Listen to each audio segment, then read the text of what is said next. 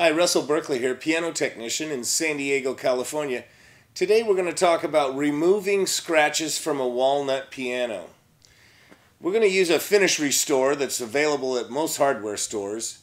Um, you can only get out light scratches with this. It works really well for just finger scratches, cat scratches. There's all kinds of stuff. You just apply a little bit onto the rag and wipe it into the finish. Go with the grain.